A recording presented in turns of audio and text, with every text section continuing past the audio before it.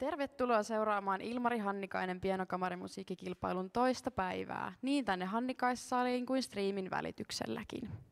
Minä olen Elli Vesmon ja toimin tänään juontajana. Kansallisen sarjan tuomaristossa ovat puheenjohtaja Ella Untamala,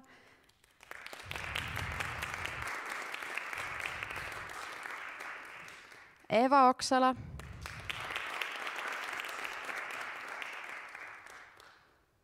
Juho Pohjonen ja Aleksis Roman.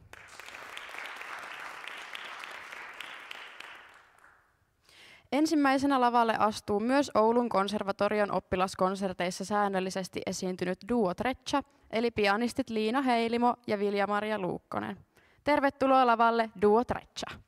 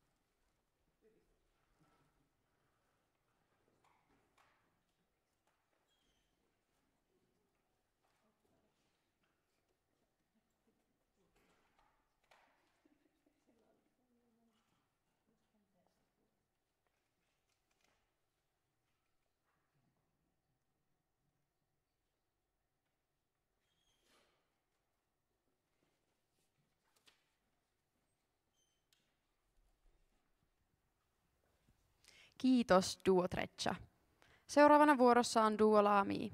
Pianoa soittavan Martta Pölösen ja viulua soittavan Lilja Iisakkilan duo on perustettu syksyllä 2022. Olkaa hyvät, Duo Laami.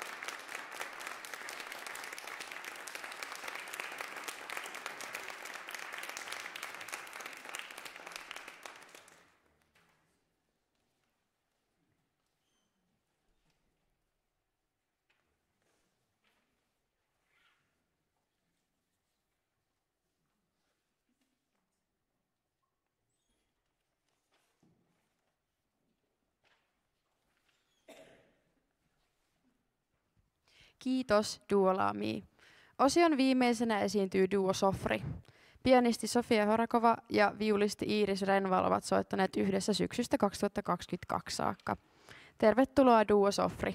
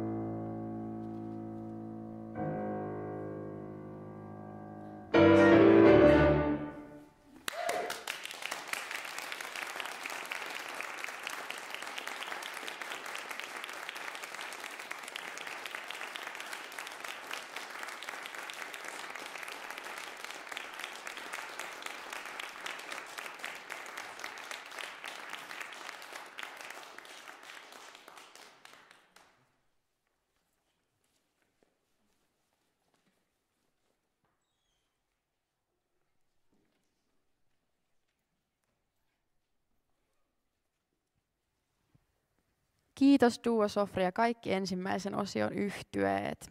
Nyt pidämme noin tunnin mittaisen tauon ja jatketaan seuraavien yhtyeiden kanssa kello 13. Nähdään siis pian.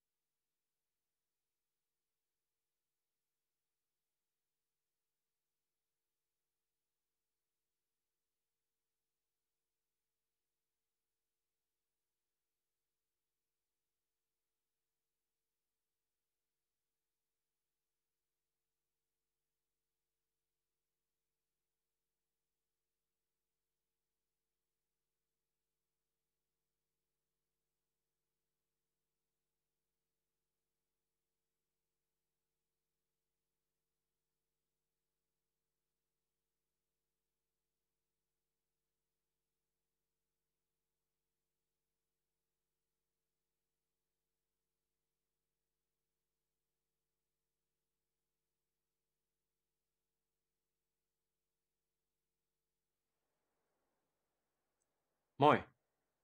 Mä oon Heikki. Mä oon täällä ja te ootte siellä. Tosin sekin ero meillä on, että mä olen jo kuollut. Mun elämä jäi kesken niin kuin elämä yleensä jää. Hei, nyt mä näen teidät. Näettekö te mut? Kiitos, että ootte täällä. Tunnetteko? Tässä ajassa tässä paikassa virtaa keskenjäädeiden unelmien ja haaveiden meri. Sama meri, jota mä koitin kuvata yhdessä mun sävellyksessä, jonka te olette nyt löytäneet. Tosin keskeneräisenä. Mut te muistitte mut. Te löysitte mut ja mun unelmat. Sehän on sellainen pidempi prosessi. Siis unelmointi. Se jatkuu läpi elämän ja kuoleman. Jos jonkun asian voi muistaa, se asia voi myös palata takaisin. Me lähdetään kohta matkalle yhdessä, mutta ennen sitä mulla olisi sulle yksi kysymys. Mistä sä unelmoit?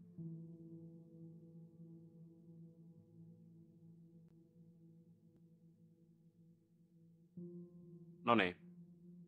Ja nyt lähdetään. Uponneeseen kaupunkiin.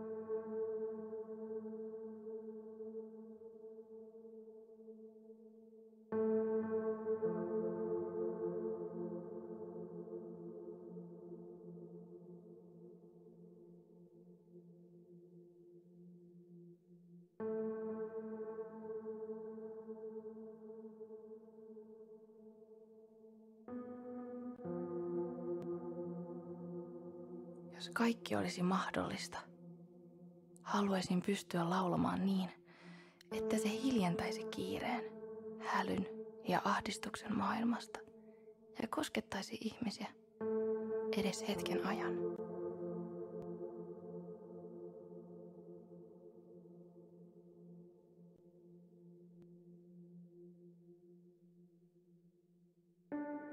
Jos kaikki olisi mahdollista, haaveilen omaehtoisesta, riippumattomasta, vapaasta.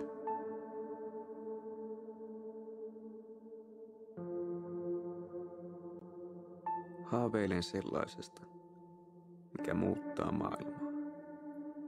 Että minulla ja tekemiselläni on jotain vaikutusta. Jos kaikki olisi mahdollista – haaveilen, että yhdessä olisi mahdollisuus luoda jotain enemmän kuin osiensa summa.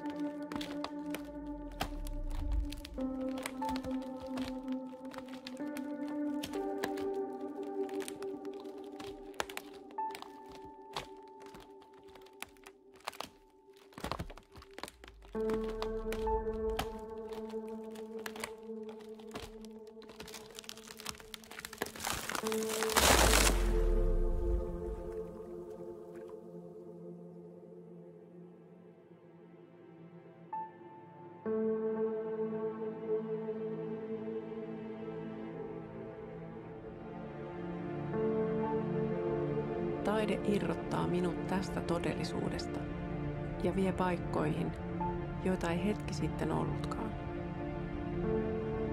Taide merkitsee minulle tärkeää vastapainoa monelle vaikealle asialle. Se tarjoaa ainutlaatuista lohtua ja iloa, joka saattaa usein olla piilossa, mutta joka ei petä koskaan.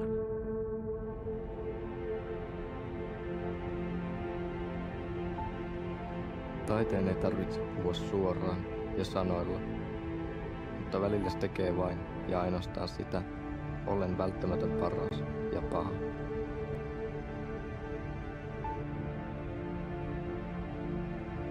En osaa sanoa, mitä taide on, muuta kuin, että se on kaikkea sellaista, minkä vuoksi haluaa elää. Taide on tapa paeta arkista todellisuutta, täydentää sitä, muovata sitä niin, että on ihan hyvä olla.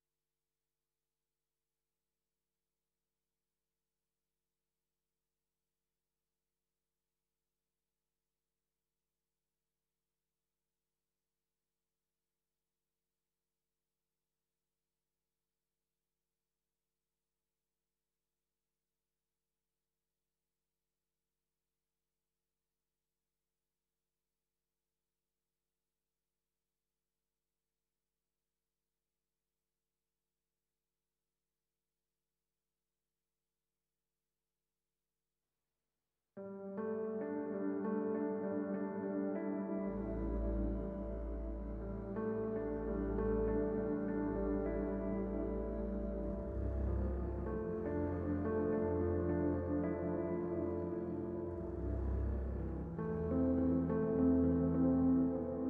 on jotain, mikä saa sielusi läikähtämään.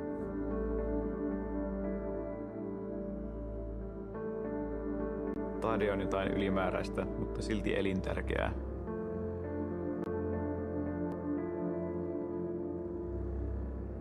Taide merkitsee vapautta, mutta vastuuta. Se merkitsee olemisen villeen mielle yhtymiä ja myös olemisen määrittelemättömyyttä. Taide on valoa pimeydessä. Se on pakokeino pois harmaasta ja paikottaen tylsästä arjesta. Ennen kaikkea se on alusta, jossa kaikki on mahdollista. Minulle se merkitsee vapautta ja voimaa. Taide ymmärtää minua.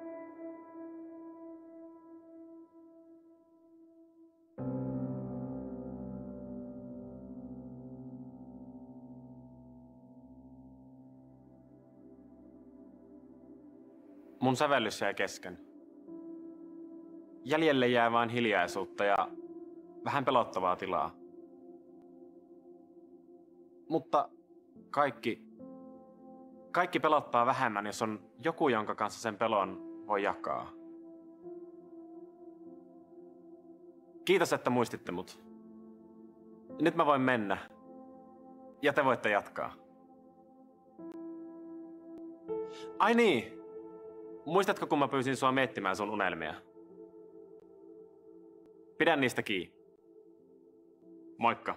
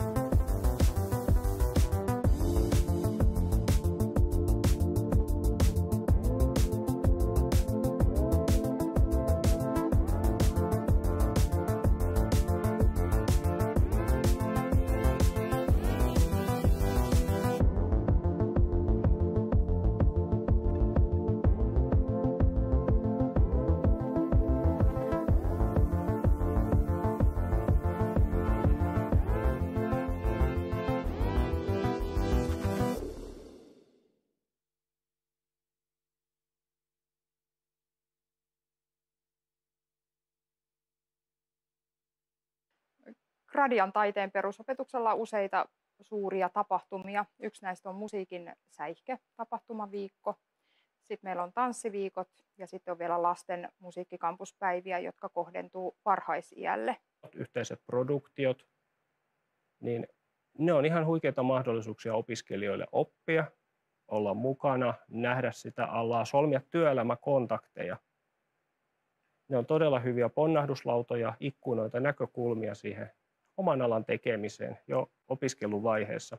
Päästään tekemään niin kuin isompia, isompia produktioita ja sitten toisaalta myöskin sellaisia asioita, mitä ei ehkä olisi aikaisemmin miettinyt, että, että mä tuollaisenkin mukaan pääsen. Suomalaisella musiikkikampuksella eri alojen opiskelijat ovat paljon mukana. Niitä hyödynnetään runsaasti eri tapahtumien, konserttiviikkojen yhteydessä. Vuorovuosittainhan meillä musiikkikampuksella järjestetään opera ja sitten vastinparina sille aina seuraavana vuotena musikaali, jossa sitten klassisille opiskelijoille ja Popiats-opiskelijoille vuorovuosittain on hieno mahdollisuus päästä ihan musiikkikampuksen laajuiseen yhteistuotantoon, missä eri oppilaitokset toimivat yhdessä. Musikaalit on kyllä semmoisia, mitkä jotenkin oikein kruunaa ja, ja kokoaa yhteen tämän meidän monialaisen yhteistyön tässä talossa, että, että nyt meillä on mukana Nunnia ja Konnia musikaalia tekemässä hius- ja kauneusala ja sitten on vaatetusala tekemässä upeat puvustukset ja sitten media-ala loihtii tietysti sitten valot ja, ja taustaprojisoinnit ja äänet. Gradia muusikon koulutuksen loistokonsertit ovat ainutlaatuisia koko Suomen mittakaavassa. Ja se miksi ne on niin, ne tehdään niin opiskelijavoimin. Meillä on opiskelijat siellä kamerassa, äänessä, valossa ja sitten meillä on opiskelijat siellä lavalla esittämässä sitä. Taustalla myös suuri joukko opiskelijoita. Loistohan on meidän JAMKin musiikkipedagogin tutkinto-ohjelman Popiats-opiskelijoille aivan loistava mahdollisuus päästä isoon tuotantoon mukaan. On se opiskelijalle iso juttu päästä näin hienoon saliin sitten soittamaan kautta laulamaan se oma oma tutkintokonserttinsa. Parasta oli myös täällä se, että pääsee su- suunnittelemaan just näitä omia tutkintokonsertteja. Ja on ollut kiva huomata oikeastaan, että mitä kaikkea pitää ottaa huomioon silloin, kun suunnittelee konserttia. Ja sitten, että jos siellä on jotain yhteissoittoa, niin niiden harkkojen järjestelyä. Sitten kun kaikki sujuu ja kaikki toimii ja sitten kun lopulta pääsee sinne lavalle, niin se on ihan parasta. Suomalaisella musiikkikampuksella tehtävien tuotantojen merkitys opiskelijoille on iso he näkevät siinä eri alojen toimintaa aivan käytännössä. He näkevät, mikä lavan takana tapahtuu. He näkevät koko sen paketin. Ja nyt vaikka jos me ajatellaan jotain musikaalia tai loistoviikkoakin, niin se, että mitä me nähdään siinä lavalla on vain se jäävuoren huippu. Siellä taustalla on kymmeniä, satoja opiskelijoita toteuttamassa sitä mä näen sen myös sellaisena rikkautena, että meidän oppilaat näkee myös sen, että, että jokaiselle osa-alueelle tarvitaan se oma ammattilainen ja he oppii arvostamaan sitten sitä työtä, mitä esimerkiksi meidän valomiehet tekee tai meidän kuvaajatiimi siellä. Et yritetään myös opettajina sitä tuoda esiin meidän oppilaille, että nämä ei ole niin itsestäänselvyyksiä, vaan jokainen osa siellä tekee oikeasti ison työn, ison taustatyön ja, ja sitten sen toteutustyön siinä, että me, se meidän näytös näyttää ja kuulostaa siltä, miltä se niin näyttää opinnollistaminen on hyvin tärkeä merkitys, mutta myös se verkostoituminen ja sen kulttuurin luominen tänne paitsi nyt musiikkikampukselle, mutta myöskin niin kuin Jyväskylään. Mitä itse olen käynyt katsomassa, niin todella hyvältä kuulostaa ja näyttää, että toimiihan se niinkin päin. Siitä ollaan tosi paljon saatu kyllä yleisöltä myöskin kiitosta, että, että ne on niin kuin upeita kokonaisuuksia, missä jokainen osa-alue on niin kuin toteutettu tosi ammattimaisesti ja, ja viimeisen päälle.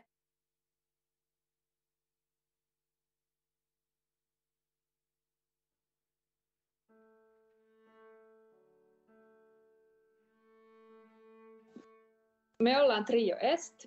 Mun nimi on Fanni Söderström. Sitten trion kuuluu myös viulisti Abel Puustinen ja sellisti Anna Westerlund. Ja meidän trion nimi tulee siitä, että me ollaan kaikki aloitettu soittaminen Itä-Helsingin musiikkiopistossa ihan pienenä. Me sijoituttiin vuoden 2020 kilpailussa niin kolmanneksi.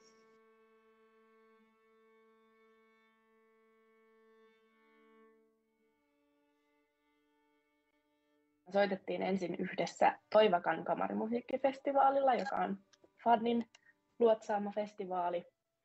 Ja siellä sitten meidän yhteistyö toimi niin, niinkin hyvin, että päätettiin jatkaa ihan vakiyhtyeenä sen jälkeen.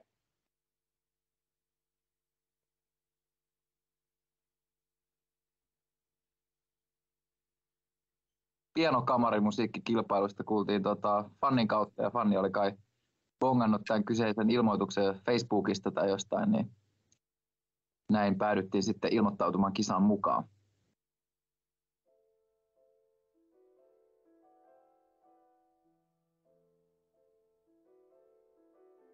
Me totta kai kuunneltiin, siellä oli useampikin vaihtoehto näitä konsertteja.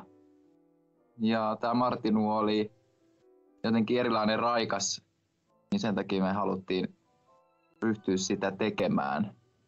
Että, ja kyllä me varmaan vähän laskeskeltiin näin, että sitä ei varmaan siellä finaalissa hirveän moni muu ryhmä soittaisi, niin se olisi sitten ohjelmistollisestikin semmoinen erilainen ja myös meidän koko kilpailun ohjelma katsoen niin jotenkin täydentävä kappale. Mä ajattelin, että se myös voisi sopia aika hyvin meille, koska ollaan kaikki soitettu aika paljon sen tyyppistä musaa ja saataisiin aika paljon irti siitä kappaleesta, niin myös sen takia sitten varmaan päädyttiin valitsemaan se.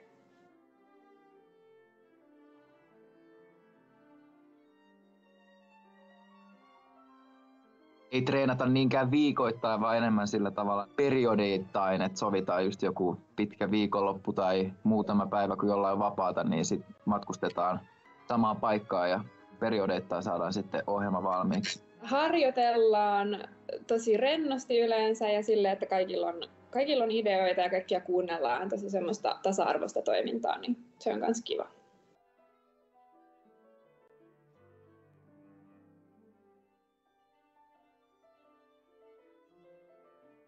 taisi olla silloin ennen finaalivetoa niin aika paljon erilaisia tuntemuksia, että paljon intoa päästä vihdoin esittämään tämä Martin U kolmoiskonsertto, jota tosi vähän esitetään yhtään missään.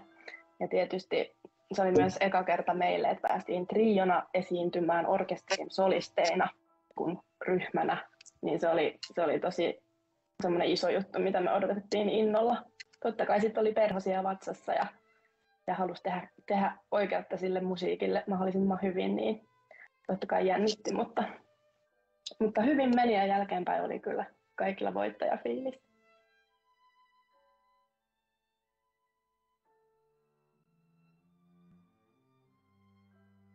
Salin akustiikka oli semmoinen ehkä meille kaikille, ainakin mulle ja Annalle, mä en muista, onko Safani soittanut se, se oli meille kaikille niin tuntematon, niin se oli ehkä semmoinen niin villikortti, ettei yhtään tiedetty mihin tullaan.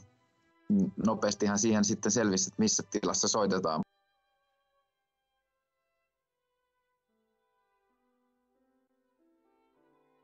Kilpailu toi meille itse asiassa tosi paljon konserttimahdollisuuksia toi Untamala, Untamalan Jukka oli kuuntelemassa kilpailuja tai katto striimistä, en ole ihan varma, ja bongas meidät sieltä ja sitten buukkas esiintymään tuonne meidän festivaalille, jota kautta sitten ollaan myös saatu sitten uusia esiintymismahdollisuuksia ja oikeastaan, en mä tiedä, että ilman tuota kilpailua, niin että missä me oltaisiin nyt tällä hetkellä, että meille se oli tosi merkittävä, merkittävä juttu.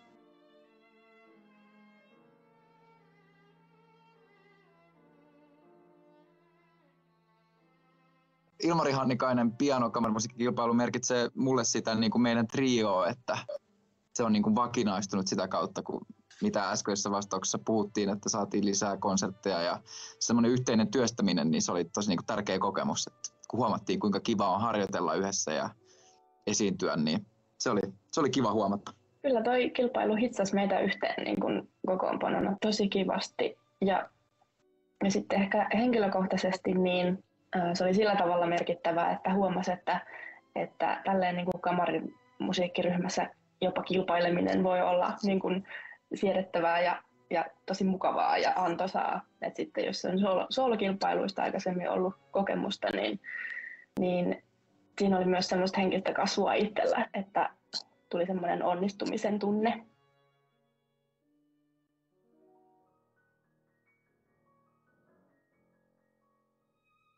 Menee tosi hyvin, että saa soittaa tosi paljon konsertteja ja tosi monipuolisesti konsertteja, että kamarimosaa ja sooloa ja kaikkea siltä väliltä ja sen ulkopuolella. Ja mä oon töissä Sibelius Akatemialla kamaripianistina ja elän just semmoista elämää, mistä on aina unelmoinut. Öö, mä oon tosiaan kilpailun jälkeen saanut työpaikan Turun Filharmonisesta orkesterista ja tehnyt siellä koeajan. Ja sitten sen jälkeen öö, mä jäin opintovapaalle ja teen tällä hetkellä maisteria loppuun Sibelius Akatemiassa. Keikkailen täällä Helsingissä paljon ihanaa kamarimusiikkia ja, ja orkesterisijaisuuksia ja oikeastaan niin kuin täyttä muusikon elämää. Meidän triolla on tänä vuonna itse asiassa tosi monta keikkaa tulossa ja on joka vuosi kilpailun jälkeen ollut tosi kiva ja odotetaan innolla niitä ja että mitä kaikkea päästään tekemään tulevaisuudessa.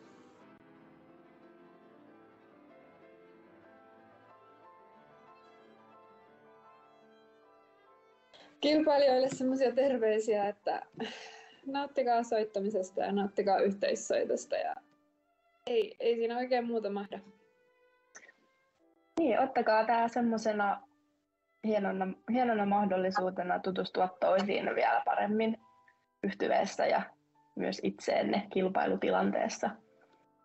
Ja yrittäkää vaan keskittyä musiikkiin ja sen jakamiseen, koska yleisö oli mun kokemuksen mukaan tuossa kilpailussa myös tosi kivasti läsnä ja, ja semmoinen tsemppaava kilpailijoita kohtaan alusta loppuun.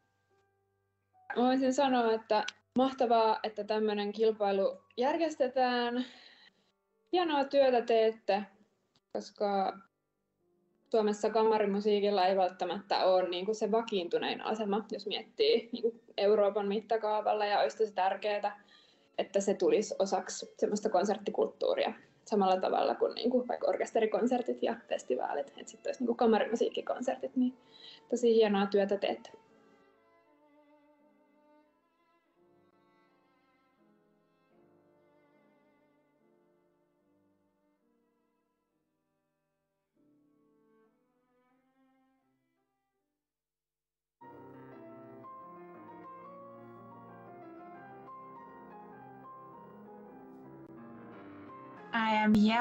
And I'm Augusta, uh, and we are piano from Lithuania, and we study currently in Germany in Freiburg University of Music, um, and we took part at the Mari uh, music competition two years ago. Two years ago. And we Or won three. the second prize, so we are very happy about that.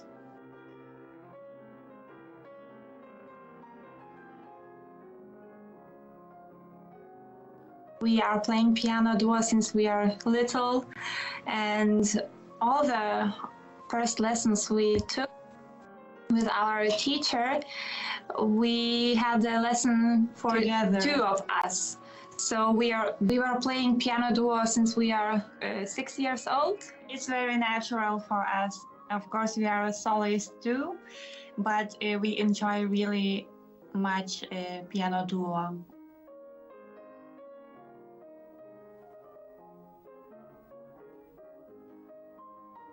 We just uh, were looking for a bigger competition with, with more rounds. So the three rounds and, and the final round with the Uvascular Symphonic Orchestra was very fascinating for us. So we decided we have to take part in this competition.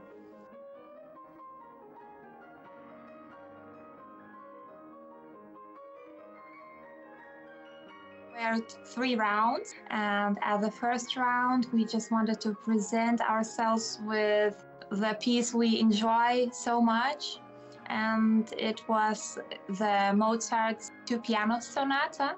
And we enjoy Mozart's music so much that we decided we have to play this work by him and, And, uh, represent us uh, firstly with that work. Yes, and then then came the second round. We wanted to represent ourselves uh, at the best artistic way too. So it was important for us to uh, choose more styles. Of course, it was actually a requirement too. Um, so we played a very uh, high virtuosic uh, piece from from Czerny. uh, Sonata Grande, F Moll, uh, Opus uh, 178. And it was actually a big challenge for us. Uh, challenge accepted and challenge succeeded. so yeah, of course, the finals uh, we played uh, Poulenc's uh, Concerto for Two Pianos, and it convinced us firstly with its uh, very high charming energy. So we wanted to project uh, this um, energy to uh, people, and we were very lucky that we got a chance to play that with Jyväskylä's orchestra, symphonic or- orchestra, and it was a great experience, great orchestra, and great conductor too. Uh, so, yeah.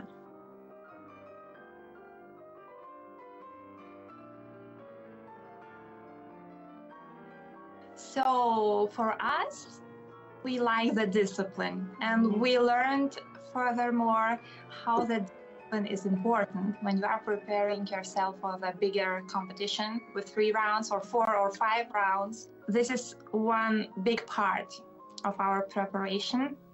And of course, as a chamber music uh, section, piano duo like us, we just spend a lot of time together. And also, it's obviously we are twins and we, we spend a lot of time with each other all the time. But when we are preparing ourselves for uh, a big competition or a big performance, so then we are spending a lot of time together.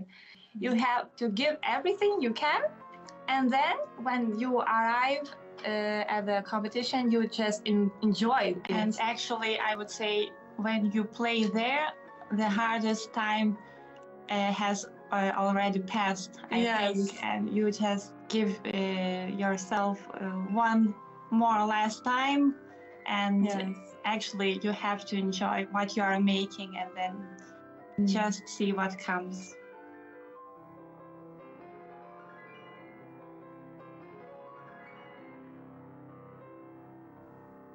Mm-hmm. before before we were uh, really excited and it was very cold in Finland. Also nervous. and also nervous. Beautiful thing about chamber music, you are making music with somebody else mm-hmm. and you are feeling good on the stage. You are not alone and enjoying the experience together. And mm-hmm. after we were just um, really happy. really happy about the uh, success we just achieved. And we enjoyed uh, every second of that. And we tried to make the best in every round. And uh, we were happy that we had the possibility to perform with the symphonic orchestra. And it was not so big deal uh, for us uh, which prize we would get. And after that it was actually a great honor for us that we won second prize and of course we were very happy. And also a little bit sad that it was uh, over. Yes. yeah. Because it was really warm competition. it's one memory we have always with us. Really warm competition with great organization and staff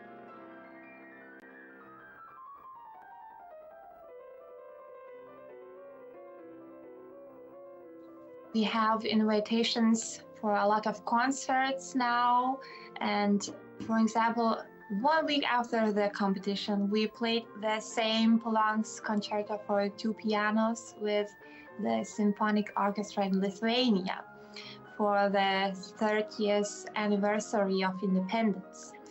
It was a really memorable concert for us. We already just uh, took the experience we just made in Jyväskylä with the symphon- symphonic orchestra and uh, played it one once more in Lithuania. Also, with a huge discipline we learned, we just prepared a lot of program after that, and we took part at another competition. It was ostracized music competition in Germany, um, in Schwerin, and we were first prize also with um, a beautiful sonata written for two pianos from Tanzmann. Now we were invi- invited to give a concert in Hamburg, in Germany, and in our hometown once again. So we are concerts. Despite Corona times, we Yes. had uh, successful years.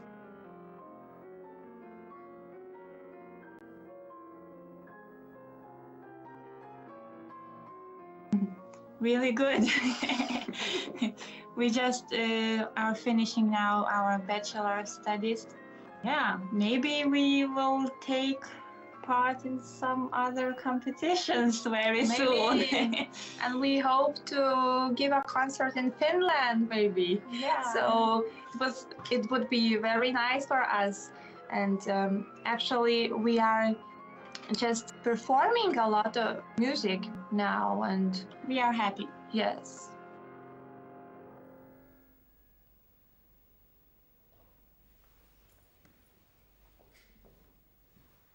My tip be disciplined before the competition and then enjoy it. Because you don't know when when's the last time you are playing. So it's all about the joy of music when you are there. Say greetings to uh, most amazing conductor Wilhelm Matveyev and Jyväskylä Symphonic Orchestra Yes. and the whole staff and uh, organizers uh, there. Really, greetings to all of the people there.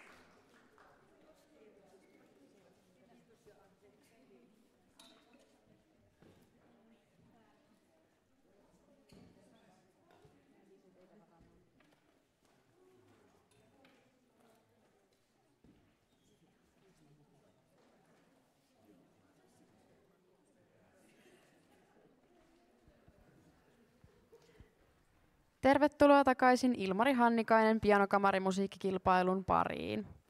Muistutan myös tänään F-musiikin piano- ja flyygelinäyttelystä, joka on monitoimisalissa. Seuraavista kolmesta yhtyeestä ensimmäisenä on Trio Edelweiss Itä-Helsingin musiikkiopistosta. Pianoa soittaa Beata Pony, viulua Stella Henel ja selloa Ester Nurminen. Katalogista poiketen Trio Edelweiss ei soita Sibeliuksen Lovisaa. Tervetuloa Trio Edelweiss.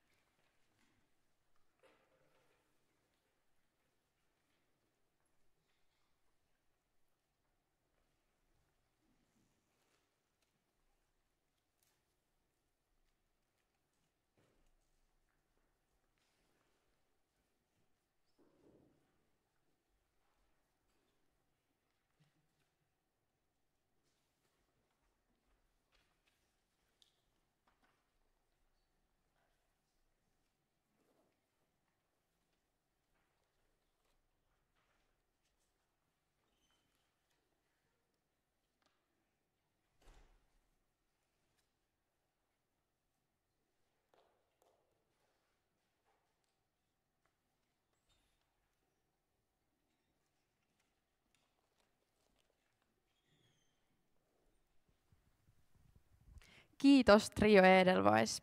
Seuraavana yhtyeenä on keväästä 2022 lähtien yhdessä soittanut Juruel. Triossa pianoa soittaa Julia Elomaa, selloa Roots Toidle ja klarinettia Elies, Lahesmaa. Tervetuloa Juruel.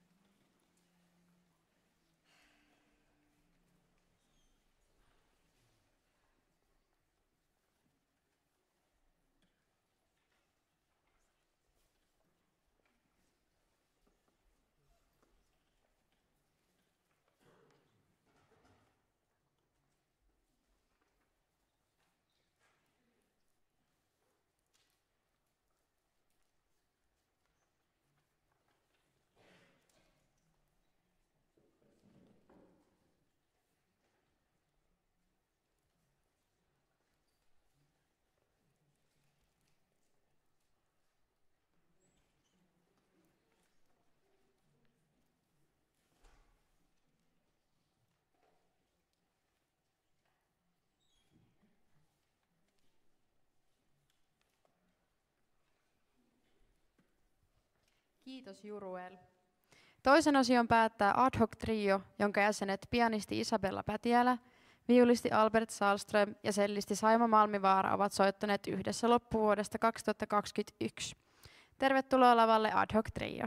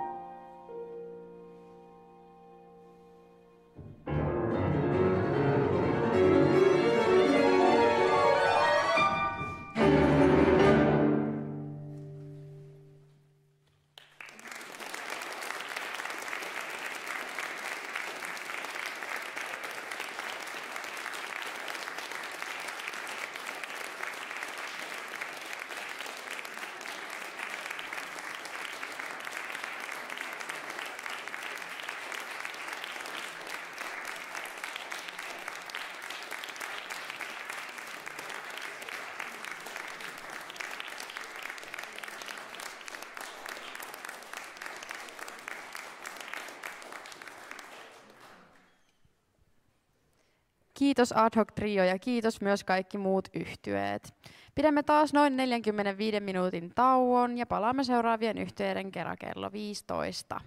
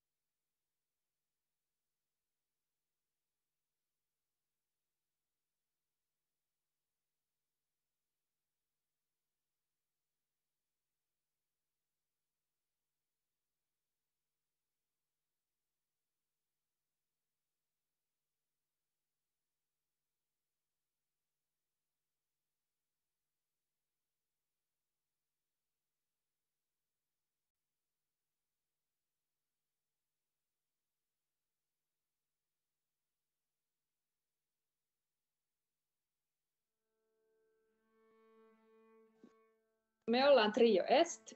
Mun nimi on Fanni Söderström. Sitten trion kuuluu myös viulisti Abel Puustinen ja sellisti Anna Westerlund.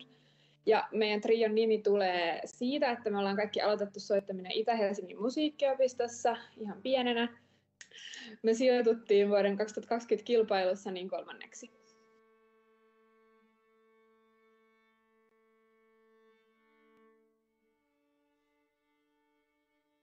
Soitettiin ensin yhdessä Toivakan kamarimusiikkifestivaalilla, joka on Fannin luotsaama festivaali. Ja siellä sitten meidän yhteistyö toimi niin, niinkin hyvin, että päätettiin jatkaa ihan vakiyhtyweenä sen jälkeen.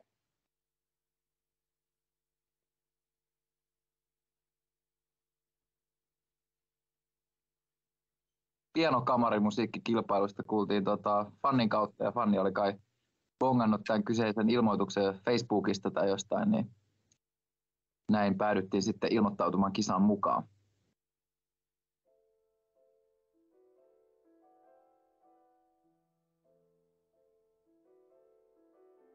Me totta kai kuunneltiin, siellä oli useampikin vaihtoehto näitä konsertteja.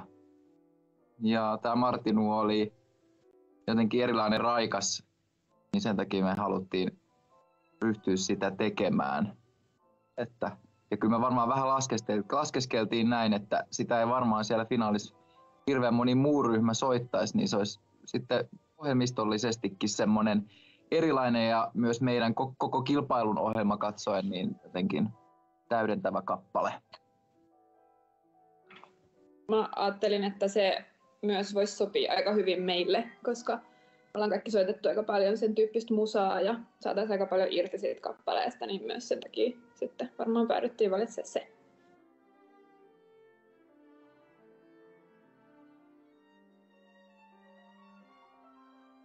ei treenata niinkään viikoittain, vaan enemmän sillä tavalla periodeittain, että sovitaan just joku pitkä viikonloppu tai muutama päivä, kun jollain on vapaata, niin sitten matkustetaan samaan paikkaan ja periodeittain saadaan sitten ohjelma valmiiksi harjoitellaan tosi rennosti yleensä ja sille, että kaikilla on, kaikilla on ideoita ja kaikkia kuunnellaan tosi semmoista tasa-arvoista toimintaa, niin se on myös kiva.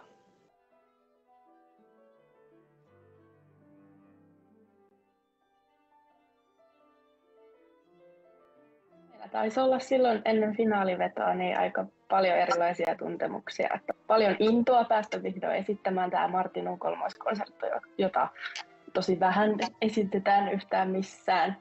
Ja tietysti se oli myös eka kerta meille, että päästiin triona esiintymään orkesterin solisteina kuin ryhmänä.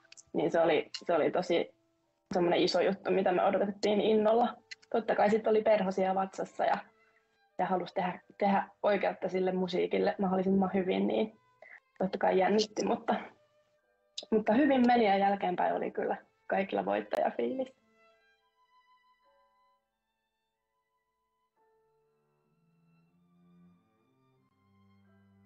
Salin akustiikka oli semmoinen ehkä meille kaikille, ainakin mulle ja Annalle, mä en muista, onko Safani soittanut se, se oli meille kaikille niin tuntematon, niin se oli ehkä semmoinen niin villikortti, ettei yhtään tiedetty mihin tullaan. Nopeastihan siihen sitten selvisi, että missä tilassa soitetaan.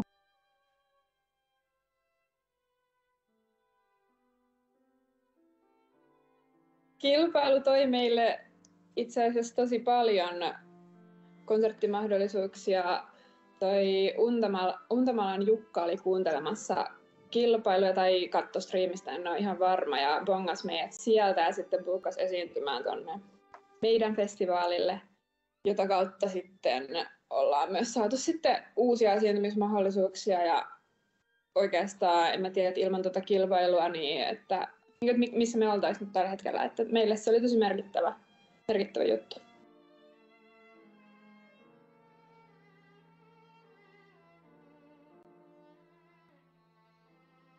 Ilmari Hannikainen pianokamarimusiikkikilpailu merkitsee mulle sitä niin kuin meidän trio, että se on niin kuin vakinaistunut sitä kautta, kun mitä äskeisessä vastauksessa puhuttiin, että saatiin lisää konsertteja ja semmoinen yhteinen työstäminen, niin se oli tosi niin kuin tärkeä kokemus, että kun huomattiin kuinka kiva on harjoitella yhdessä ja esiintyä, niin se oli, se oli kiva huomata.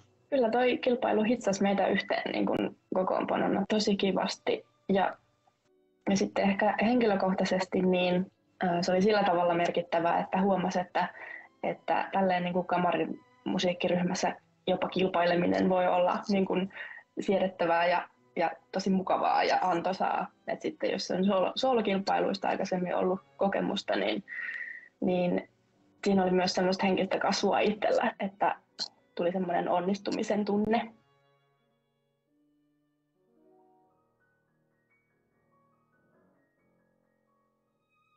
Menee tosi hyvin, että saa soittaa tosi paljon konsertteja ja tosi monipuolisesti konsertteja, että kamarimosaa ja sooloa ja kaikkea siltä väliltä ja sen ulkopuolella. Ja mä oon töissä Sibelius Akatemialla kamaripianistina ja elän just semmoista elämää, mistä on aina unelmoinut.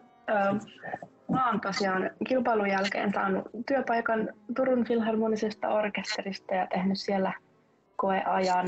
Ja sitten sen jälkeen öö, mä jäin opintovapaalle ja teen tällä hetkellä maisteria loppuun Sibelius Akatemiassa. Keikkailen täällä Helsingissä paljon ihanaa kamarimusiikkia ja, ja orkesterisijaisuuksia ja oikeastaan niin kuin täyttä muusikon elämää. Meidän triolla on tänä vuonna itse asiassa tosi monta keikkaa tulossa ja on joka vuosi kilpailun jälkeen ollut tosi kiva ja odotetaan innolla niitä ja että mitä kaikkea päästään tekemään tulevaisuudessa.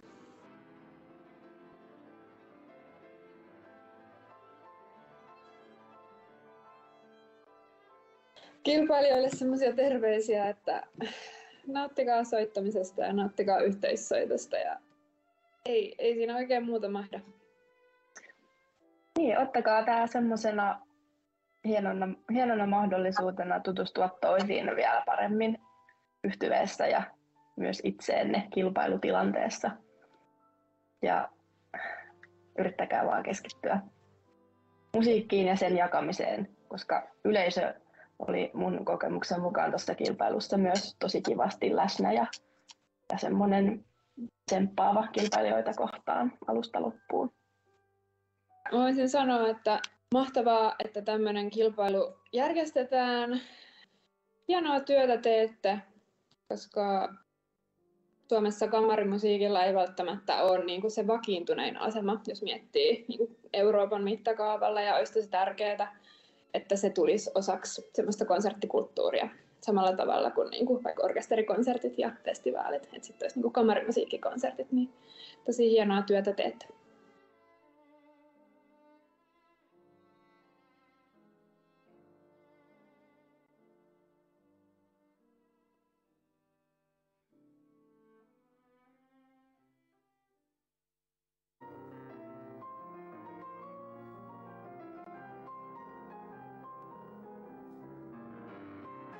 I am Yeva and I'm Augusta, uh, and we are piano from Lithuania, and we study currently in Germany in Freiburg University of Music, um, and we took part at the Mari Heinikainen uh, music competition two years ago.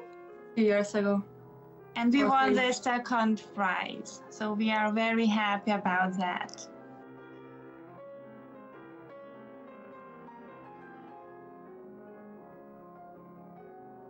We are playing piano duo since we are little, and all the first lessons we took with our teacher, we had a lesson for Together. two of us. So we are we were playing piano duo since we are uh, six years old. It's very natural for us. Of course, we are a soloist too, but uh, we enjoy really much uh, piano duo.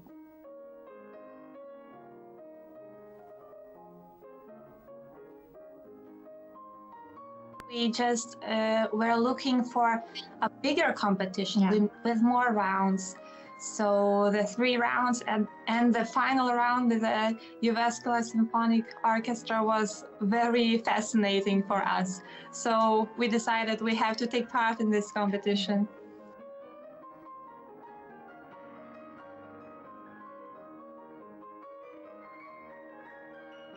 Were three rounds, and at the first round, we just wanted to present ourselves with the piece we enjoy so much, and it was the Mozart's Two Piano Sonata. And we enjoy Mozart's music so much that we decided we have to play this work by him and, And, uh, represent us uh, firstly with that work. Yes, and then then came the second round. We wanted to represent ourselves uh, at the best artistic way too. So it was important for us to uh, choose more styles. Of course, it was actually a requirement too. Um, so we played a very uh, high virtuosic uh, piece from from Czerny, uh, Sonata Grande, F Moll, uh, Opus uh, 178, and it was actually a big challenge for us. Uh, challenge accepted and challenge succeeded. so yeah, of course, the finals uh, we played Poulenc's Concerto for Two Pianos, and it convinced us firstly with its uh, very high charming energy.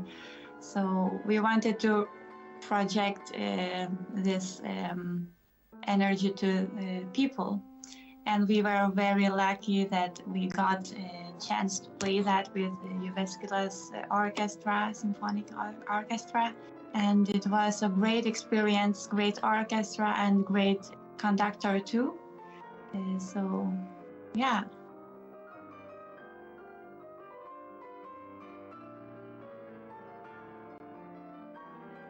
So for us, we like the discipline, and we learned furthermore how the discipline is important when you are preparing yourself for the bigger competition with three rounds or four or five rounds. This is one big part of our preparation. And of course, as a chamber music uh, section, piano duo like us, we just spend a lot of time together. And also, it's obviously we are twins and we, we spend a lot of time with each other all the time. But when we are preparing ourselves for uh, a big competition or a big performance, so then we are spending a lot of time together. You have to give everything you can, and then when you arrive uh, at the competition, you just en- enjoy it. And actually, I would say when you play there, the hardest time uh, has uh, already passed, I Yes. think, and you just give uh, yourself uh, one more last time, and Yes. actually you have to enjoy what you are making, and then just see what comes.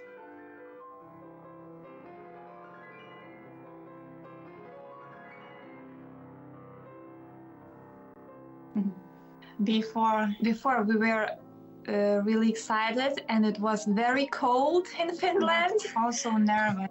and also nervous. Beautiful thing about chamber music, you are making music with somebody mm-hmm. else, and you are feeling good on the stage. You are not alone and enjoying the experience together. And mm-hmm. after we were just um, really happy, really happy about the uh, success we just achieved, and We enjoyed uh, every second of that, and we tried to make the best in every round. And uh, we were happy that we had the possibility to perform with the symphonic orchestra, and it was not so big deal uh, for us uh, which prize we would get. And after that, it was actually um, a great honor for us that we won second prize, and of course we were very happy. And also a little bit sad that it was over. yes, yeah, because it was really warm competition. It's one memory we have always with us. Mm-hmm. Really warm competition with great organization and staff.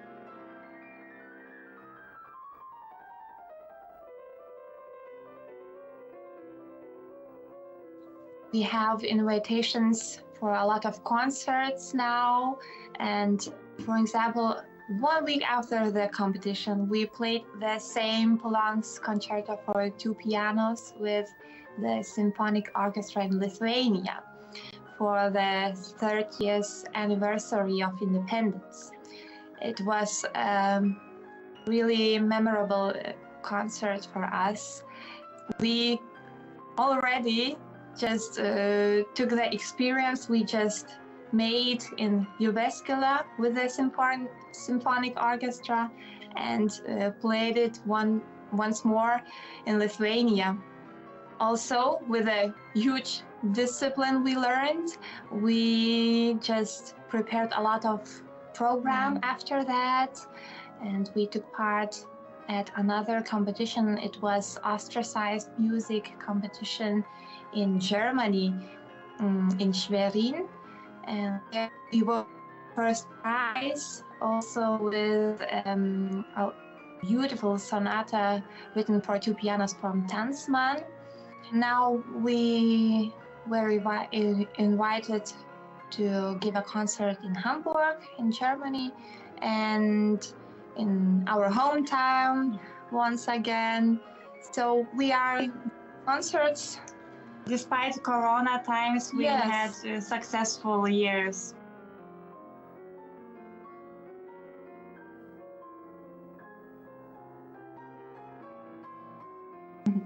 Really good. we just uh, are finishing now our bachelor studies. Yeah, maybe we will take part in some other competitions very soon. And we hope to give a concert in Finland, maybe. Yeah. So it was. It would be very nice for us. And um, actually, we are just performing a lot of music now, and we are happy. Yes.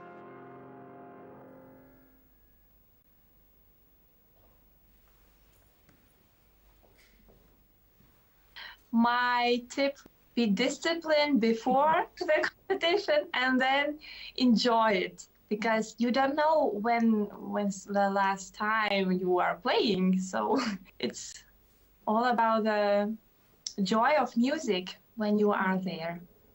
Say greetings to uh, most amazing conductor Vilel Matveyev and Jyväskylä Symphonic Orchestra Yes. and the whole staff and uh, organizers uh, there.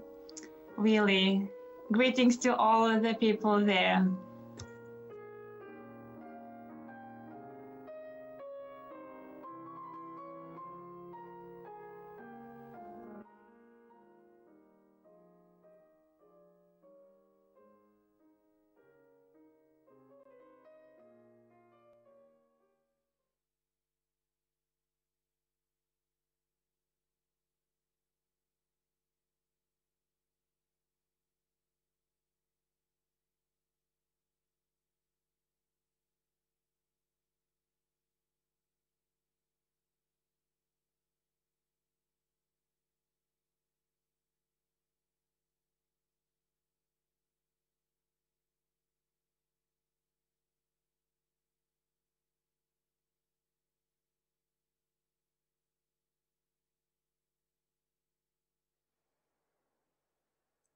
Moi. Mä oon Heikki. Mä oon täällä ja te ootte siellä. Tosin sekin ero meillä on, että mä olen jo kuollut. Mun elämä jäi kesken niin kuin elämä yleensä jää. Hei, nyt mä näen teidät. Näettekö te mut? Kiitos, että olette täällä. Tunnetteko? Tässä ajassa, tässä paikassa virtaa keskenjäädeiden unelmien ja haaveiden meri.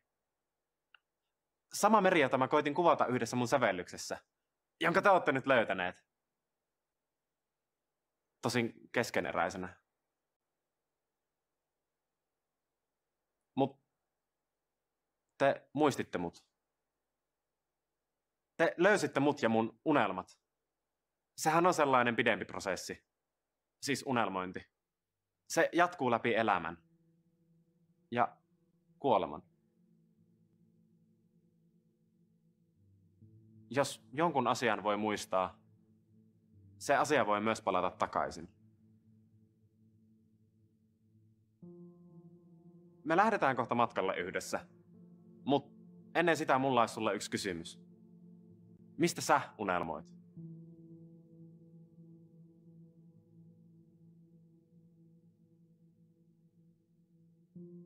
No niin. Ja nyt lähdetään. Uponneeseen kaupunkiin.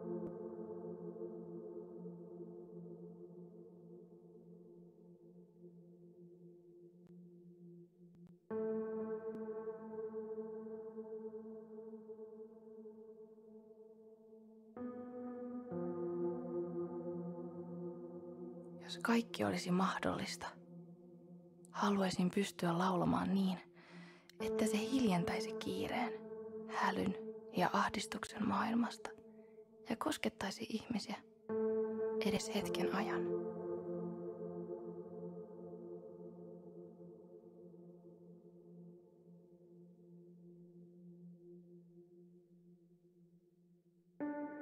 Jos kaikki olisi mahdollista, haaveilen omaehtoisesta, riippumattomasta, vapaasta.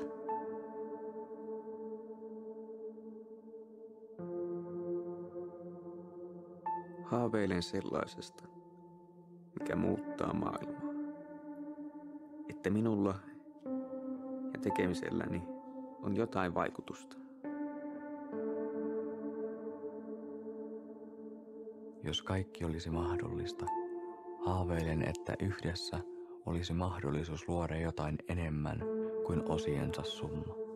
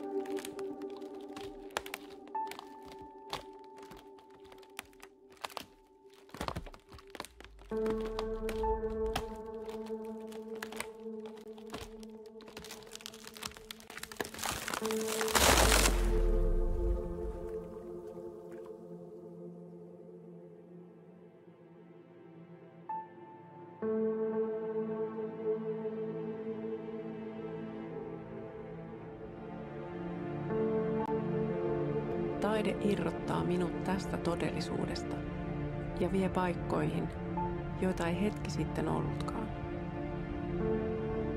Taide merkitsee minulle tärkeää vastapainoa monelle vaikealle asialle. Se tarjoaa ainutlaatuista lohtua ja iloa, joka saattaa usein olla piilossa, mutta joka ei petä koskaan.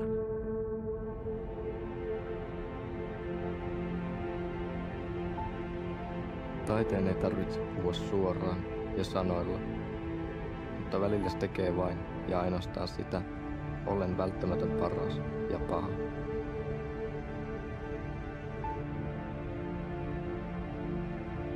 En osaa sanoa, mitä taide on, muuta kuin, että se on kaikkea sellaista, minkä vuoksi haluaa elää.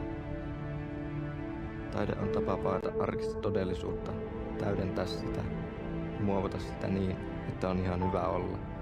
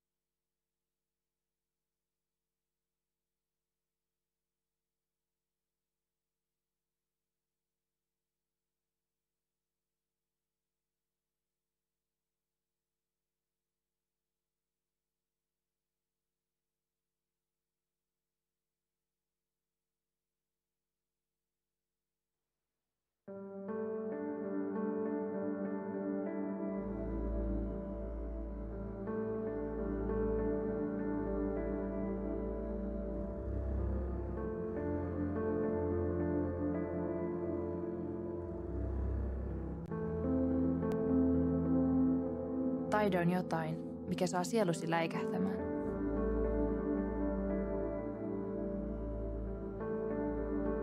Taide on jotain ylimääräistä, mutta silti elintärkeää.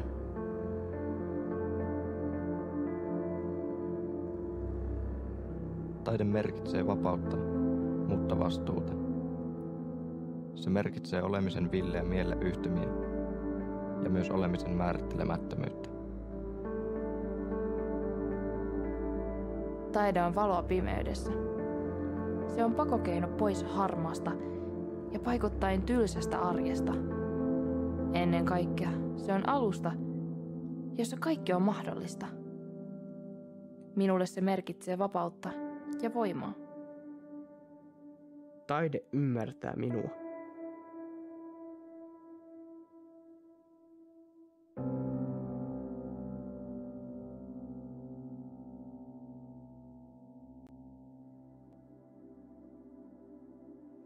Mun sävellys jäi kesken. Jäljelle jää vain hiljaisuutta ja vähän pelottavaa tilaa.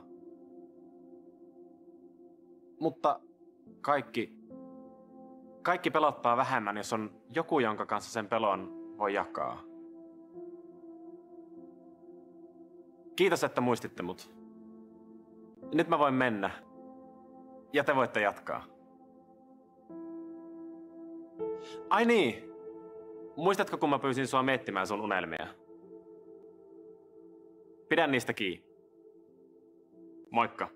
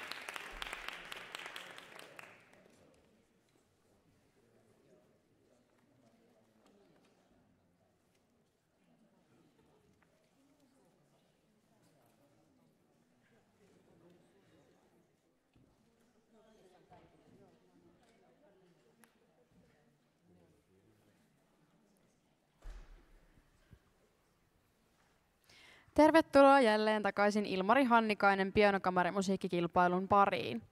Seuraavaksi vuorossa on keskiviikon viimeinen osio, jossa esiintyy päivän kolme viimeistä yhtyettä. Osion aloittaa duo Aamira ja Olga. Pianoa soittava Aamira Demirel ja viulua soittava Olga Niemi opiskelevat Sibelius Akatemian nuorisokoulutuksessa ja ovat soittaneet duona viime keväästä asti. Tervetuloa duo Aamira ja Olga.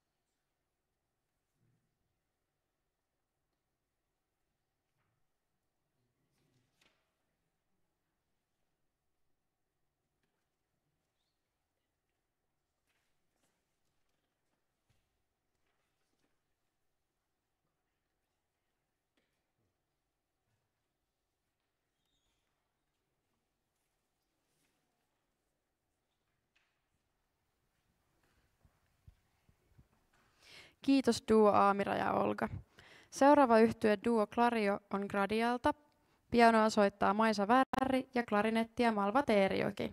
Jyväskyläläisen yhtyeen jäsenet ovat lyhyestä yhteisestä duokokemuksestaan huolimatta innoissaan yhdessä soittamisesta. Tervetuloa lavalle Duo Clario.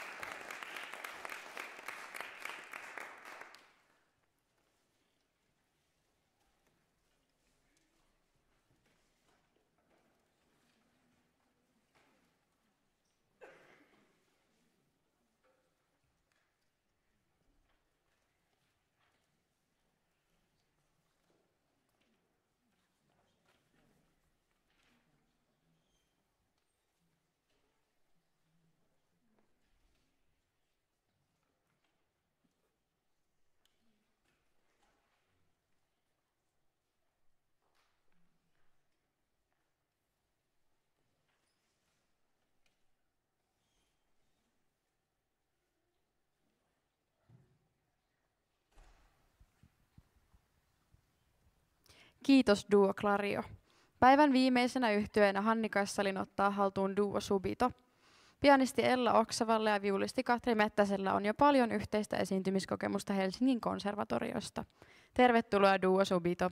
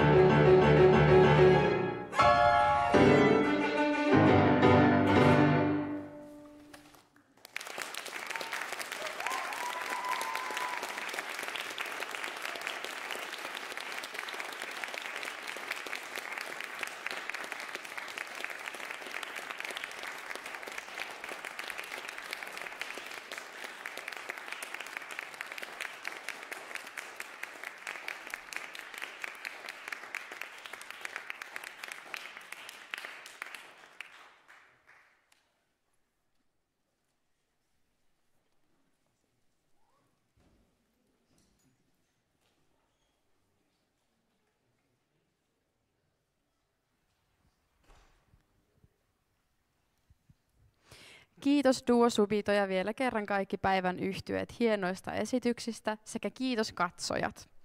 Tuomaristo keskustelee nyt tämän päivän suorituksista ja tulee kertomaan tulokset tänne Hannikaissaliin noin viideltä.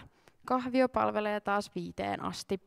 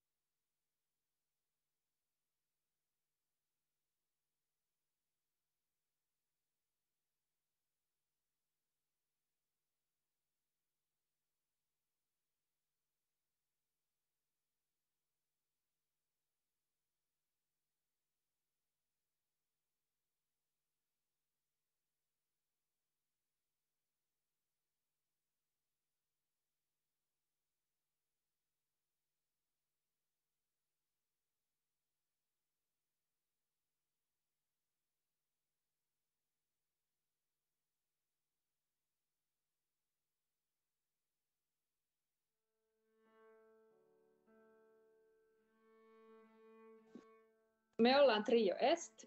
Mun nimi on Fanni Söderström. Sitten trion kuuluu myös viulisti Abel Puustinen ja sellisti Anna Westerlund. Ja meidän trion nimi tulee siitä, että me ollaan kaikki aloitettu soittaminen Itä-Helsingin musiikkiopistossa ihan pienenä. Me sijoituttiin vuoden 2020 kilpailussa niin kolmanneksi.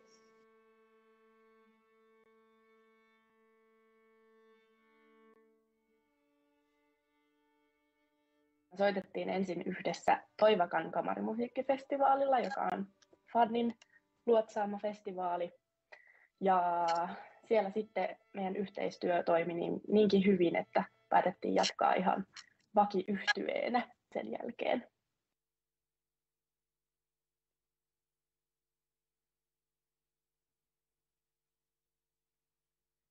pienokamarimusiikkikilpailusta kuultiin tota, Fannin kautta ja Fanni oli kai bongannut tämän kyseisen ilmoituksen Facebookista tai jostain, niin näin päädyttiin sitten ilmoittautumaan kisaan mukaan.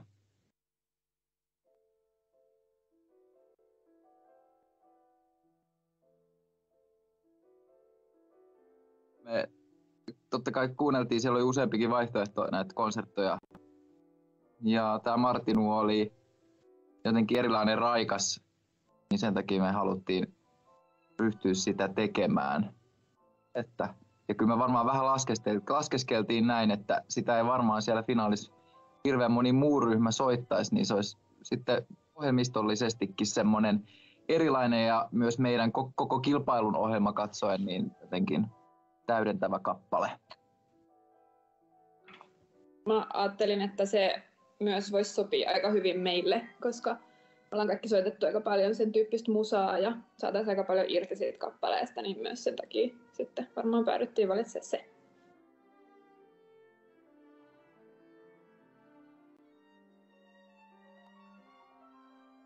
ei treenata niinkään viikoittain, vaan enemmän sillä tavalla periodeittain, että sovitaan just joku pitkä viikonloppu tai muutama päivä, kun jollain on vapaata, niin sitten matkustetaan samaan paikkaan ja periodeittain saadaan sitten ohjelma valmiiksi. Harjoitellaan tosi rennosti yleensä ja sille, että kaikilla on, kaikilla on ideoita ja kaikkia kuunnellaan tosi semmoista tasa-arvoista toimintaa, niin se on myös kiva.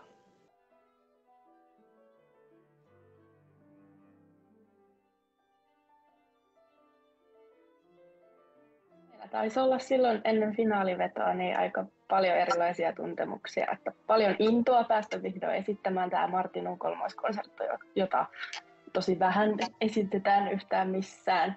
Ja tietysti se oli myös eka kerta meille, että päästiin triona esiintymään orkesterin solisteina kuin ryhmänä. Niin se oli, se oli tosi semmoinen iso juttu, mitä me odotettiin innolla. Totta kai sitten oli perhosia vatsassa ja ja halusi tehdä, tehdä oikeutta sille musiikille mahdollisimman hyvin, niin totta kai jännitti, mutta, mutta hyvin meni ja jälkeenpäin oli kyllä kaikilla voittajafiilis.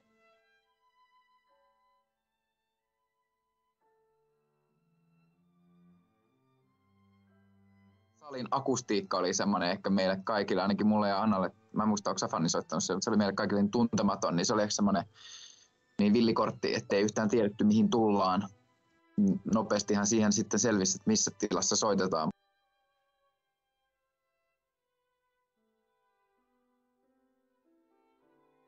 Kilpailu toi meille itse asiassa tosi paljon konserttimahdollisuuksia. Toi Untamalan Jukka oli kuuntelemassa kilpailuja tai katto striimistä, en ole ihan varma, ja bongas meidät sieltä ja sitten buukkas esiintymään tuonne meidän festivaalille – jota kautta sitten ollaan myös saatu sitten uusia esiintymismahdollisuuksia ja oikeastaan en mä tiedä, että ilman tuota kilpailua, niin että missä me oltaisiin nyt tällä hetkellä, että meille se oli tosi merkittävä, merkittävä juttu.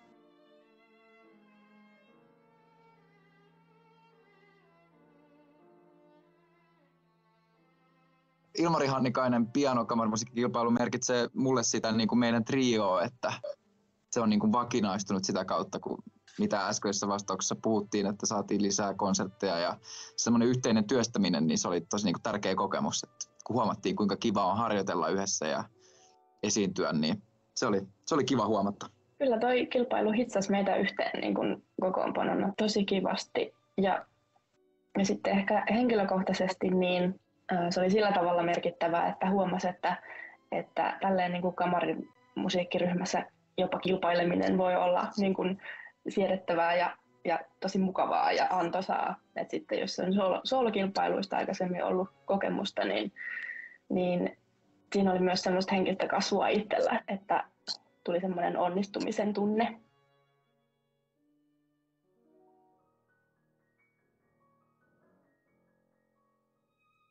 Menee tosi hyvin, että saa soittaa tosi paljon konsertteja ja tosi monipuolisesti konsertteja, että kamarimusaa ja sooloa ja kaikkea siltä väliltä ja sen ulkopuolella. Ja mä oon töissä Sibelius Akatemialla kamaripianistina ja elän just semmoista elämää, mistä on aina unelmoinut. Öö, mä oon tosiaan kilpailun jälkeen saanut työpaikan Turun Filharmonisesta orkesterista ja tehnyt siellä koeajan. Ja sitten sen jälkeen öö, mä jäin opintovapaalle ja teen tällä hetkellä maisteria loppuun Sibelius Akatemiassa. Keikkailen täällä Helsingissä paljon ihanaa kamarimusiikkia ja, ja orkesterisijaisuuksia ja oikeastaan niin kuin täyttää muusikon elämää. Meidän triolla on tänä vuonna itse asiassa tosi monta keikkaa tulossa ja on joka vuosi kilpailun jälkeen ollut tosi kiva ja odotetaan innolla niitä ja että mitä kaikkea päästään tekemään tulevaisuudessa.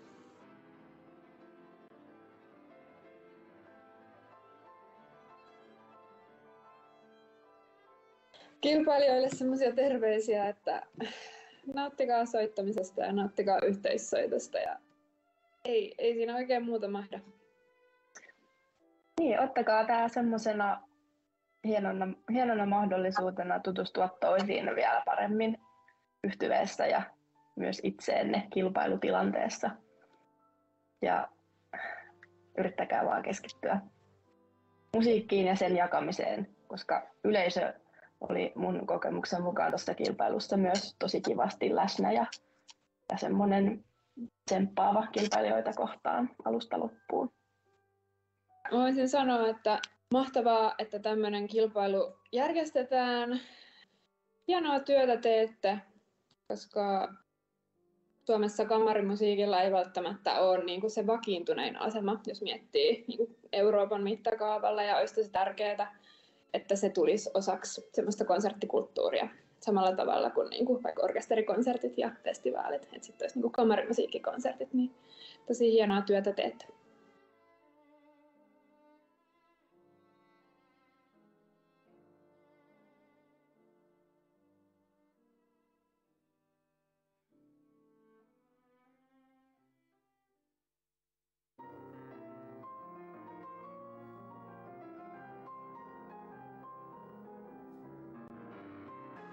I and I'm Augusta, uh, and we are piano from Lithuania, and we study currently in Germany in Freiburg University of Music, um, and we took part at the Mari Heinikainen uh, music competition two years ago. Two years ago. And we won the second prize, so we are very happy about that.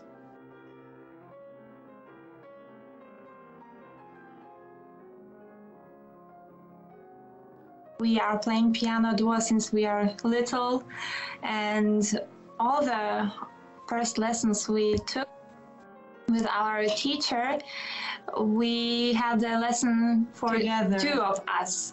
So we are we were playing piano duo since we are uh, six years old. It's very natural for us. Of course, we are a soloist too, but uh, we enjoy really much uh, piano duo.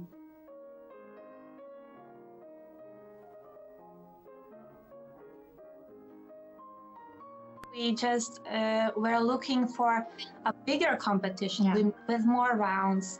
So the three rounds and, and the final round with the Jyväskylä Symphonic Orchestra was very fascinating for us. So we decided we have to take part in this competition.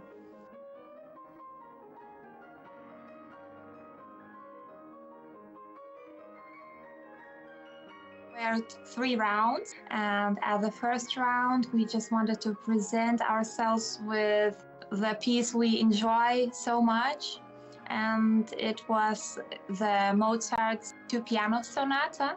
And we enjoy Mozart's music so much that we decided we have to play this work by him and, and represent us uh, firstly with that work. Yes. And then then came the second round. We wanted to represent ourselves uh, at the best artistic way too. So it was important for us to uh, choose more styles. Of course, it was actually a requirement too.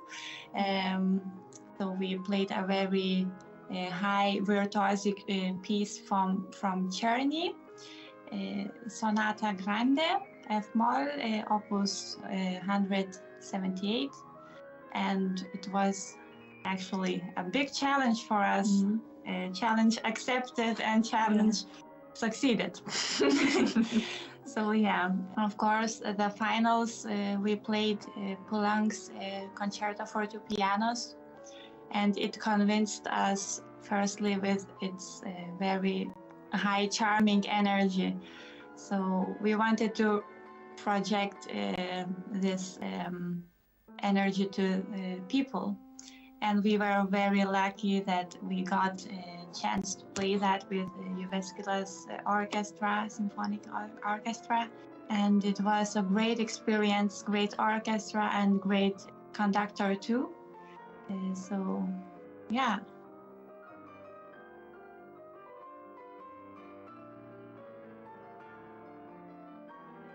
So, for us, we like the discipline, and we learned furthermore how the discipline is important when you are preparing yourself for the bigger competition with three rounds or four or five rounds. This is one big part of our preparation and of course, as a chamber music uh, section, piano duo like us, we just spend a lot of time together. And also, it's obviously we are twins and we, we spend a lot of time with each other all the time. But when we are preparing ourselves for uh, a big competition or a big performance, so then we are spending a lot of time together.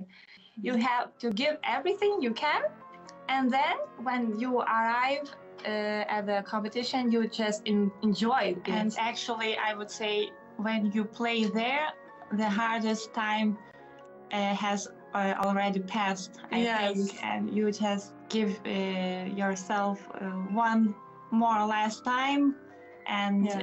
actually you have to enjoy what you are making, and then mm. just see what comes.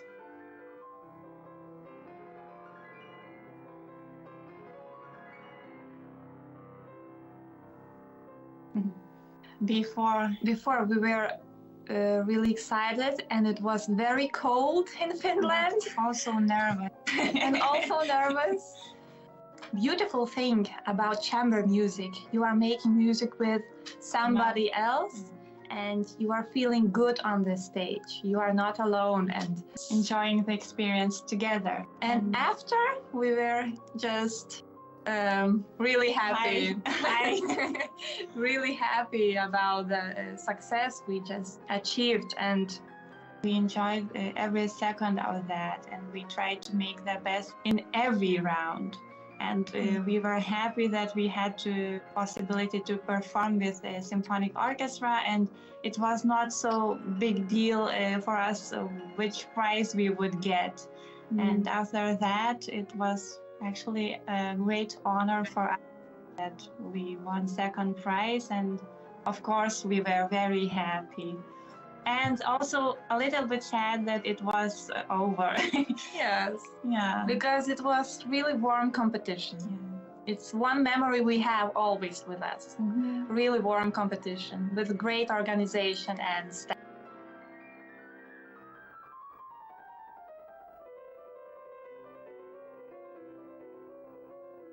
we have invitations for a lot of concerts now.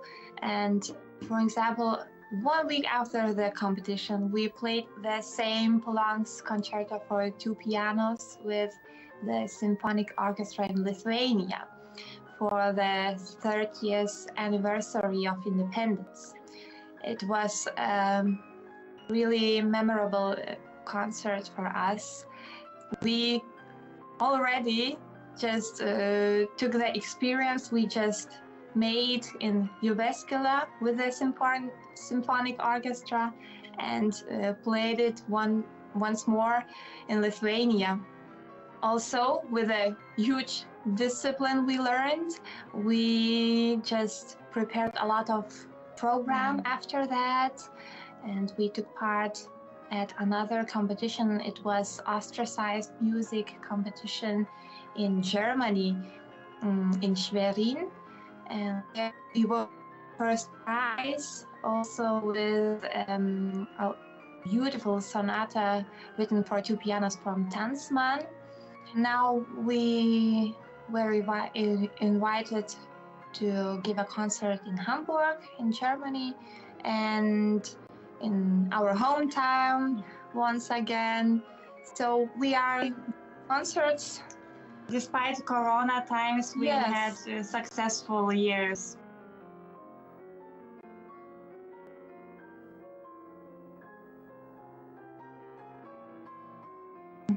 Really good.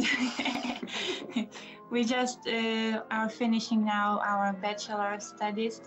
Yeah, maybe we will take part in some other competitions very soon. And we hope to give a concert in Finland, maybe. Yeah. So it was it would be very nice for us. And um, actually, we are just performing a lot of music now, and we are happy. Yes.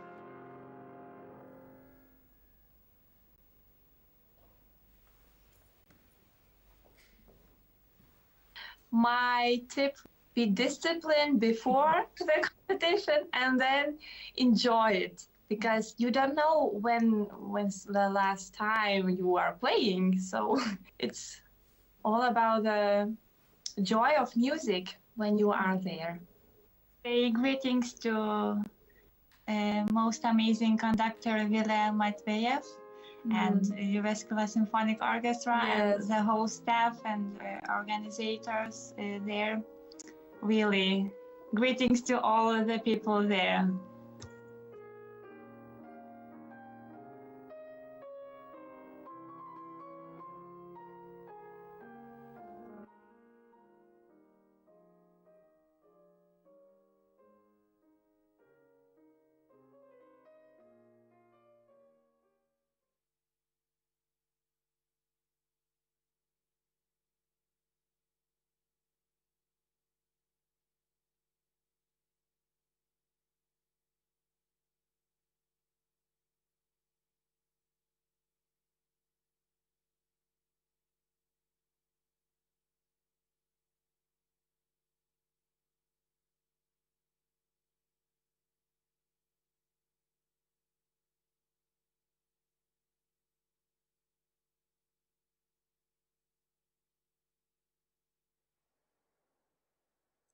Moi. Mä oon Heikki. Mä oon täällä ja te ootte siellä. Tosin sekin ero meillä on, että mä olen jo kuollut. Mun elämä jäi kesken niin kuin elämä yleensä jää. Hei, nyt mä näen teidät. Näettekö te mut? Kiitos, että ootte täällä. Tunnetteko? Tässä ajassa, tässä paikassa virtaa keskenjäädeiden unelmien ja haaveiden meri. Sama meri, jota mä koitin kuvata yhdessä mun sävellyksessä, jonka te olette nyt löytäneet. Tosin keskeneräisenä. Mut te muistitte mut. Te löysitte mut ja mun unelmat. Sehän on sellainen pidempi prosessi. Siis unelmointi. Se jatkuu läpi elämän. Ja kuoleman. Jos jonkun asian voi muistaa, se asia voi myös palata takaisin. Me lähdetään kohta matkalle yhdessä. Mut ennen sitä mulla olisi sulle yksi kysymys. Mistä sä unelmoit?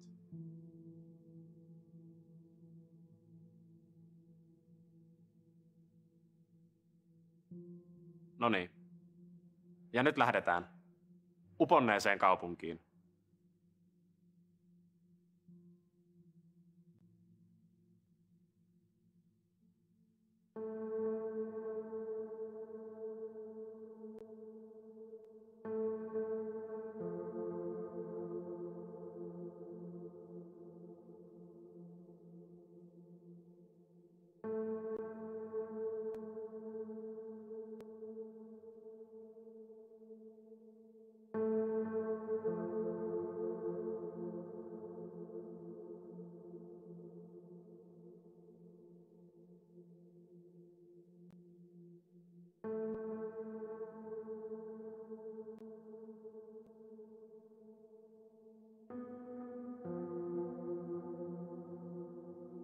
Kaikki olisi mahdollista, haluaisin pystyä laulamaan niin, että se hiljentäisi kiireen, hälyn ja ahdistuksen maailmasta ja koskettaisi ihmisiä edes hetken ajan.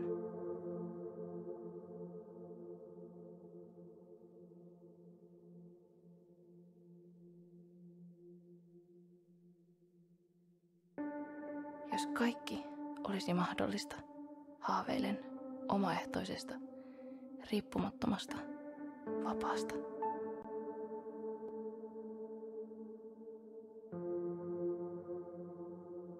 Haaveilen sellaisesta, mikä muuttaa maailmaa.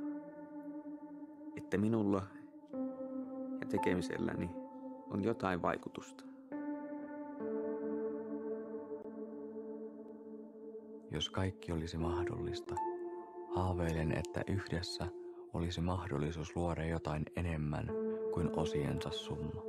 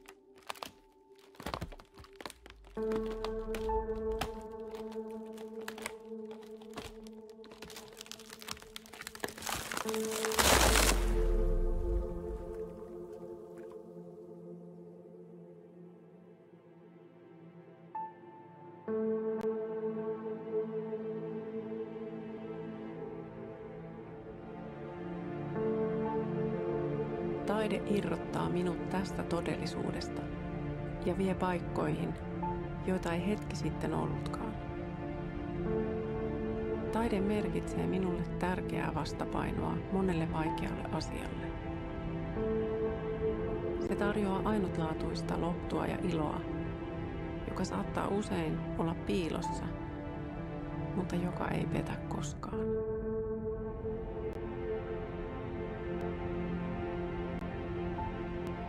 Taiteen ei tarvitse puhua suoraan ja sanoilla, mutta välillä se tekee vain ja ainoastaan sitä, ollen välttämätön paras ja paha.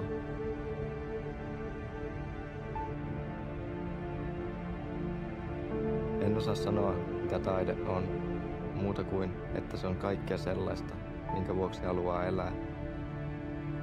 Taide on tapa paeta arkista todellisuutta, täydentää sitä muovata sitä niin, että on ihan hyvä olla.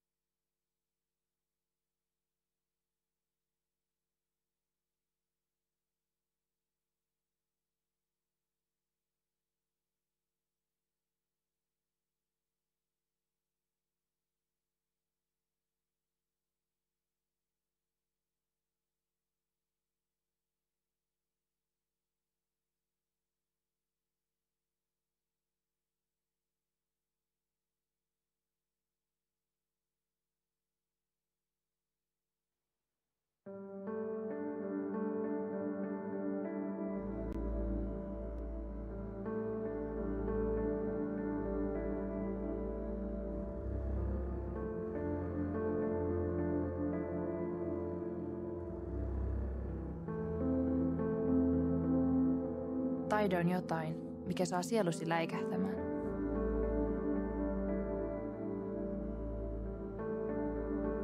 Taide on jotain ylimääräistä, mutta silti elintärkeää.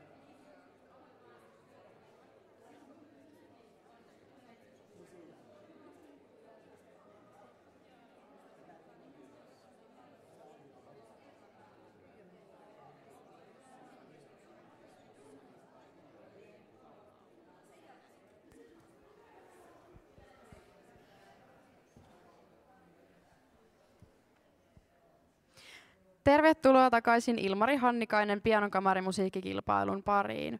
Nyt on myös toinen kilpailupäivä saatu päätökseen. Seuraavaksi tuomariston puheenjohtaja Ella Untamala sekä muu tuomaristo tulee julkistamaan tulokset. Pyytäisin myös Keski-Suomen musiikin edistämissäätiö puheenjohtaja Anneli Raanin sekä asiamies Helvi Kangaksen antamaan kukat sekä kunniakirjat.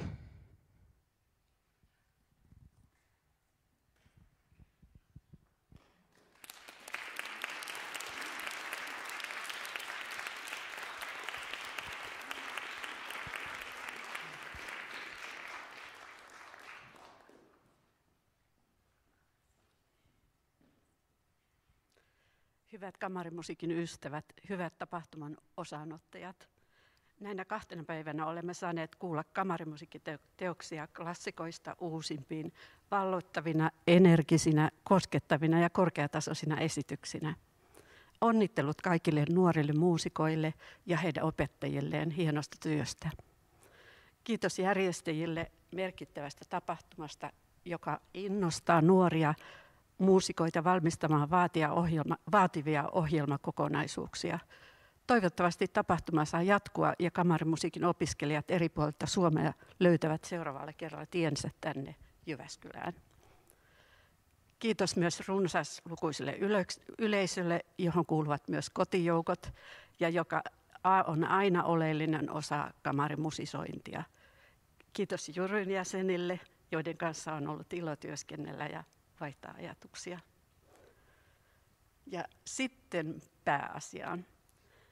Koska, koska tämä nuorten sarja on tapahtumaluonteinen, olemme jakaneet käytettävässä olevan rahan tunnustuspalkintoina seuraavasti.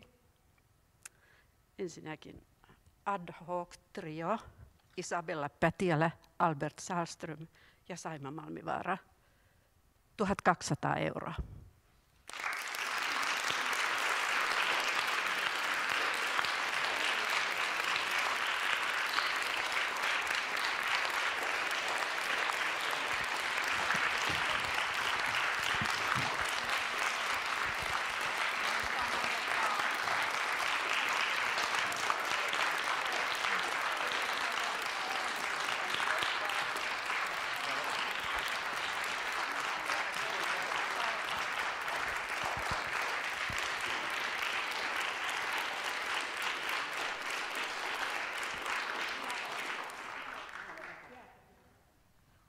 Sitten äh, trio Edelweiss, Beatta Pony, Stella Henel ja Ester Nurminen. 600 euroa.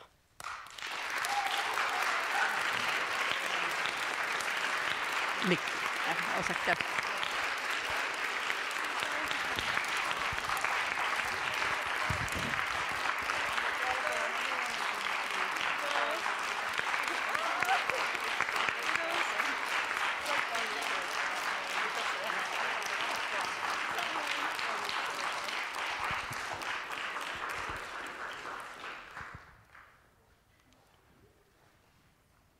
Seuraavana Duo Subito, Ella Oksala ja Katri Mettänen.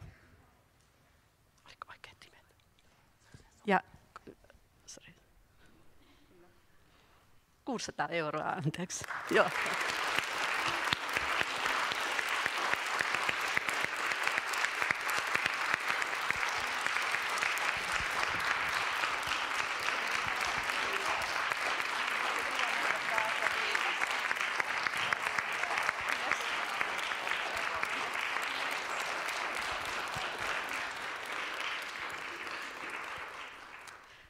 Sitten Duo Aamira et Olga ja heille tulee 400 euroa.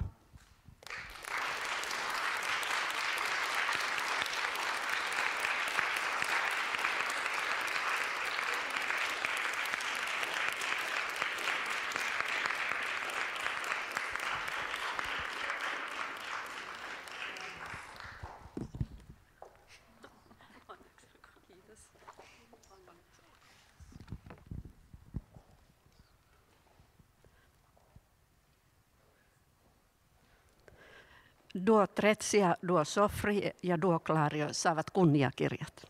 Tulkaa tekin lavalle.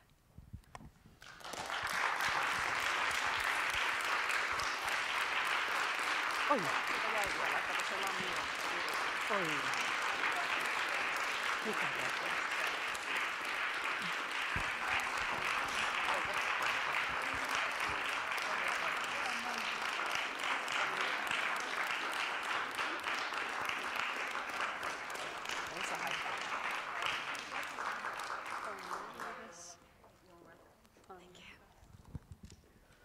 Nyt tulee vielä korjaus, eli vielä tulee yksi, kaksi Duo Lami 400 euroa ja Juruel 400 euroa.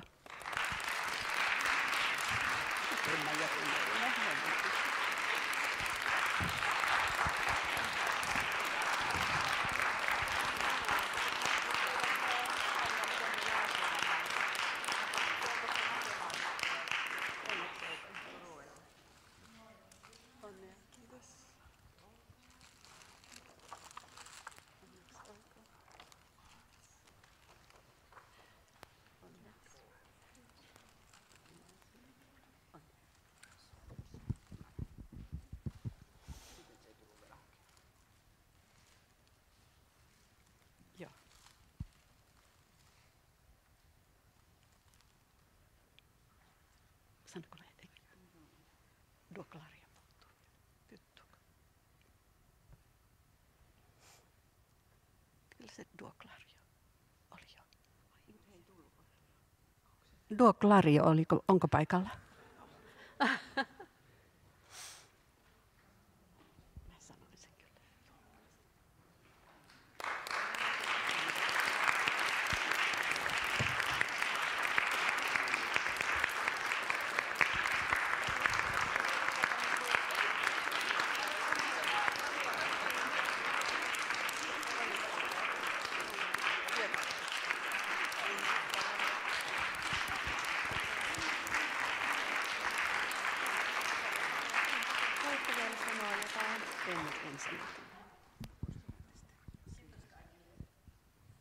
Soitosta ja osanotosta kuulemisesta. Kiitos.